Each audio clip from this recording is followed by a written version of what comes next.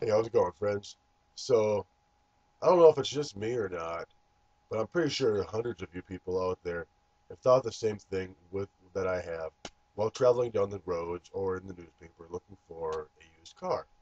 Something to last you a little while, maybe until you can buy a brand new car, or you're just looking for something for your kid, or even for something for yourself. Your old car died and you want another car that'll last you a couple of years.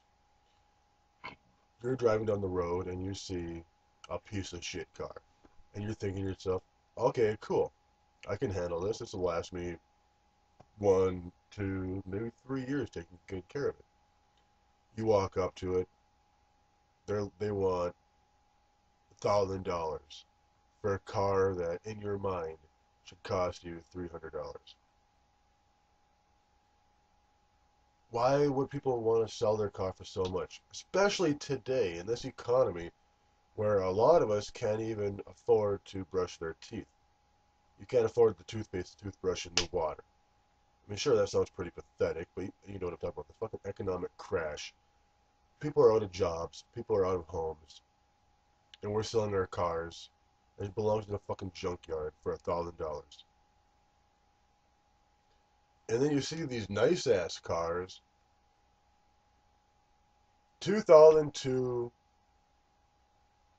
Mustang for four thousand dollars. Needs a little bit of work.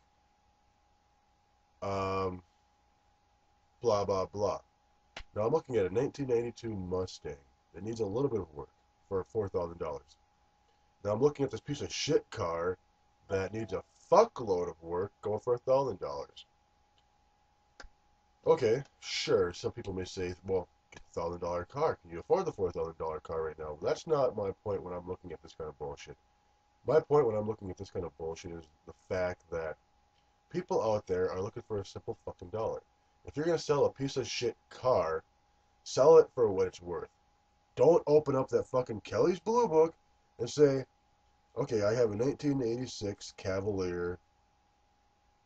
Good condition, it can go for $1,500. Poor condition, it can go for a $1,000. Really fucking poor, pathetic condition, it can go for $900. Don't fucking do that unless you're a dumb fuck. Sell it to the point where you can sell it and you can make a buyer happy.